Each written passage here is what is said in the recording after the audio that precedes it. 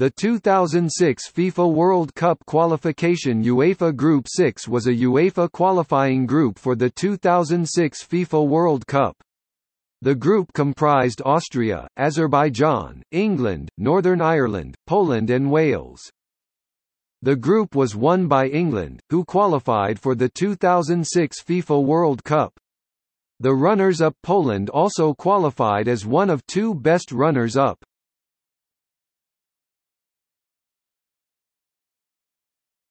Topic: Standings.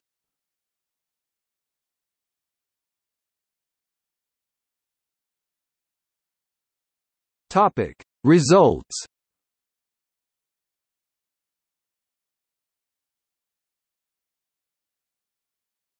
Topic: Goalscorers. 7 goals 5 goals 4 goals 3 goals 2 goals 1 goal 1 own goal. Topic. See also